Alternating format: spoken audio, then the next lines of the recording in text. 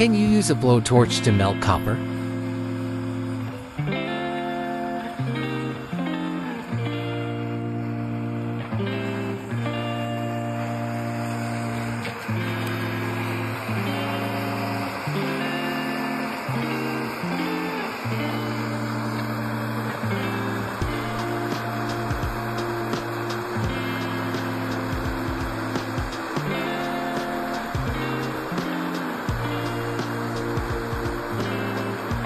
Yes.